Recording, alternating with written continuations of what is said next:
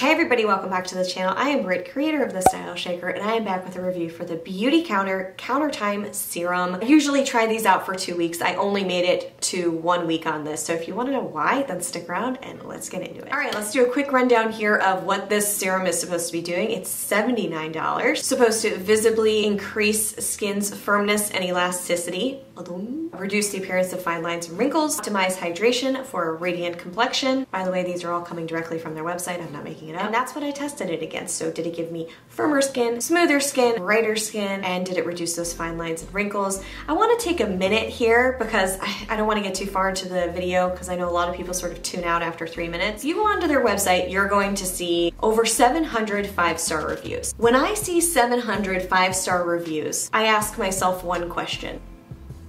How is that even possible? Is it that good? I gotta give it a try. Now, my skin only went for a week and it actually did the exact opposite of what it said it would do, but that's just me and my skin. And you know, this is not a one size fits all situation. The thing is, when I contacted the company and said, hey, I'd love to leave a review because something just felt off. I usually don't leave reviews on these websites. Like I rarely leave them on Sephora. I probably should, seeing as how, but I do this whole channel. So anyway, I asked if I could leave a review because I thought, hey, this is weird. I can't just directly get on their website and leave a review. Huh, that's funny. They wrote me back very friendly, cordial email and they said, you know, thanks for writing us. I'll put a copy of the email here. But they basically were telling me you haven't been invited to write or leave a review. So I want to be very, very clear here to Beautycounter and let them know that personally as a consumer, I find vetting reviews to be deceptive. Now, are they doing it for that reason? Probably not. Maybe there's maybe there's just too many reviews but want to leave on the site and it overloads the server. Do I think that's the case?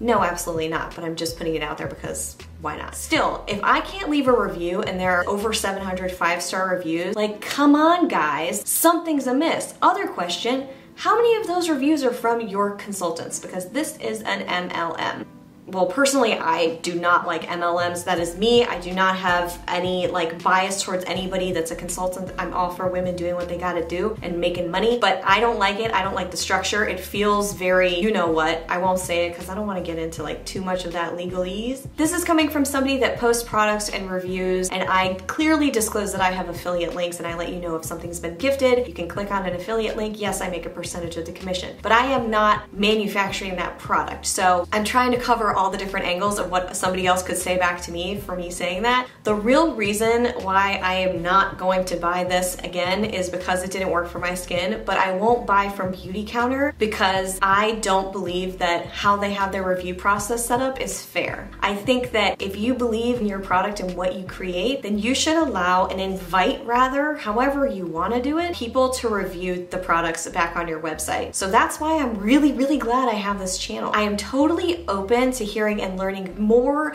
about maybe the whys behind it. Maybe there's something I can't see as a consumer and there's a reason they're doing this. But for now, I just really think that's totally messed up and I'm not a fan and that's why I will not be purchasing from Beautycounter Consultants or the website in the future until they change that. That's just me. You, however, can buy, love, I'm sure there are 700 plus people at least saying that they love this. Take this opinion with a grain of salt, but as you know, I will always keep it real for you here, trying to be as objective as possible. When I saw that, you're not even allowing your customers to write a review. Like, what is that about? I don't get it. I don't get it. The other thing that I want to point out on their product page is how they talk about these clinical studies. Now, when people say dermatologist approved, I, you've heard me say here before, I'm like, what dermatologist do? Is, is it a good dermatologist? Is it like a reputable dermatologist? I, what, which dermatologist approves these? But nobody has the time to dig into this. So what they said was 97% saw this and da da da da saw this. We've heard this as women, we hear this all the time. It says in a little asterisk, based on a 32 subject consumer perception study,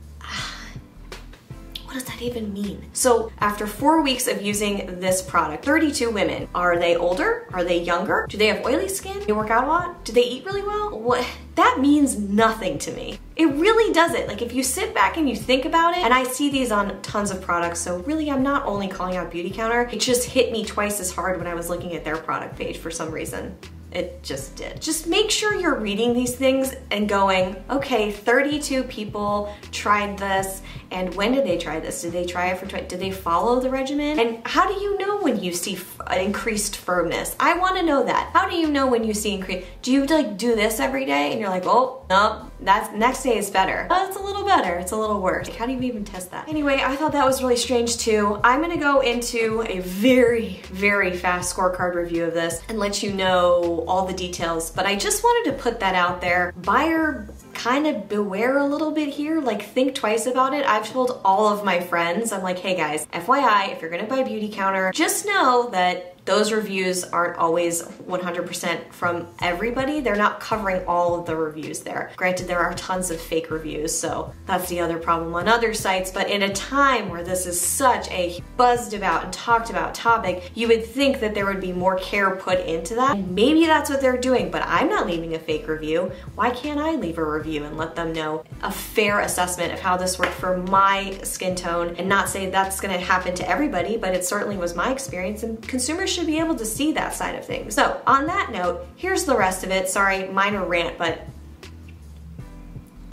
yeah. Mm. How do the ingredients look here? I went through every one of them. They're EWG verified elsewhere, but like I went through each one. I didn't see many red flags. We're good. Still though, if you have sensitive skin, take a look because I don't have sensitive skin and this did not play well with my skin. Application, this is more of a liquid, thin product. That doesn't mean it's bad. It glides on. It's a very light layer. It is a little tacky, but it's not super sticky or overly tacky at all. It just is very thin. Almost feels like um, light layer of primer. That's what what it felt like. Scent is a little, smells a little bit like alcohol when you first sniff it, when it first comes out of the bottle. Speaking of getting it out of the bottle, this pump, while I love the packaging, the pump had it spraying everywhere. I don't know if that was just me not being able to figure out the pump. I don't know what the deal was. So I have to be very calculated when I press this pump down. And at first it smells more like alcohol than I'd like it to. I don't know where that's coming from. Kind of threw me off at first too, and then it dissipates after you apply it. In terms of being irritating, I only did a one week review. They post reviews and results from people who used it for 30 days. Uh, I could only get through one week because my skin got very red here.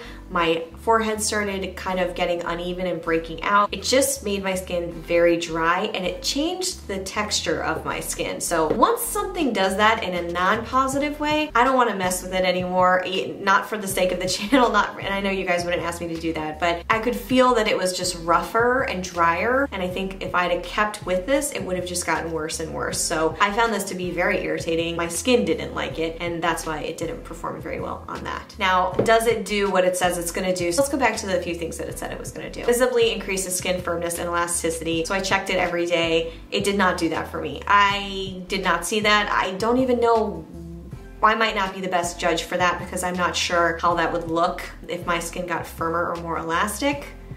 I don't know. Reducing the appearance of fine lines and wrinkles. No. Did it make them worse? No, not really. It just dried the heck out of my skin. Which takes me to optimizes hydration for a radiant complexion. No, no, not for me. It did not do that at all. This was just a huge miss. It actually did the opposite. So my final verdict, it was based solely on performance. I couldn't recommend this to somebody that has my skin type. For somebody with an oily skin type, this might work. For somebody with a different kind of skin type, this may very well work. Also keep in mind that there are always other variables involved when it comes to skincare. So if you're putting this serum on and it's supposed to hydrate and you don't even have a stitch of water and just drink espresso all day, yeah, your skin's gonna suffer. Stress relates to your skin. You guys know this, all the inside out. The holistic approach applies here, so there are other variables, but overall, I will not recommend this. Fact of the matter is, I wanted to leave a review that wasn't a five star review. I asked the company if I could do it. They, in a very friendly, like emoji way, said, Nope, sorry, can't do that. And that really does not sit right with me. I find that to be not a good business practice. And so I will not be ordering from Beautycounter unless that changes. And even if it does, anything I've tried from them just hasn't really meshed with my skin. So my skin just, we're just we're not like friends. Usually I find one good thing in a brand, I just haven't done that yet with Beautycounter. So I'm happy for the people that love it and have a great time. Maybe you're one of the 700 plus that it was able to leave a positive five star review. For the rest of us though, um, just wanted to give you my experience with this, my honest experience with this. I bought it. Obviously they're not paying me to say any of this. And I really, really want you to know about this review situation. Let me know what you think about it. What do you think about that? Do you think that you should be able to leave a review on the website without without having to gain permission to do so from the brand. What are your thoughts? Let me know, squad. And if you've had other experiences with this or any other Beautycounter products, please share. Remember, we're trying to keep it as constructive as possible. Not trying to just speak negatively or down talk a brand here. I'm just trying to share information and this is my information. I'm sharing it with you and if you want to share something back, just try and keep it as constructive as possible, which you guys do a fantastic job of. So I really, really appreciate it. And that's all I have to say about this